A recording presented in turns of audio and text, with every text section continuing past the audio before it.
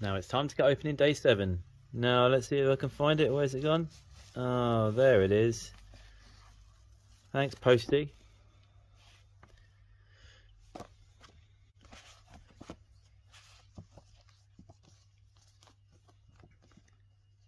Have a little shake. It doesn't feel heavy, and I know last year they had a thing for renting games, so I feel like this is going to be similar. So I reckon this might be rent, shuffle, and roll, hopefully. Let's find out. And what is this?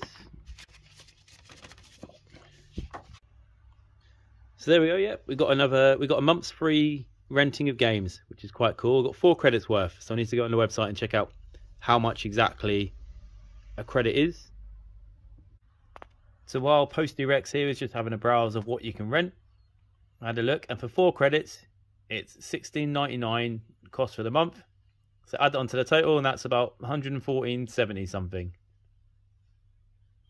Not that good value, out of terms of it, you get an extra two to eight games, depending on how heavy in credits the games are. If you want to rent, I guess. So it's just another gift that keeps on giving. So catch up with us tomorrow when uh, we go for our Christmas veggies.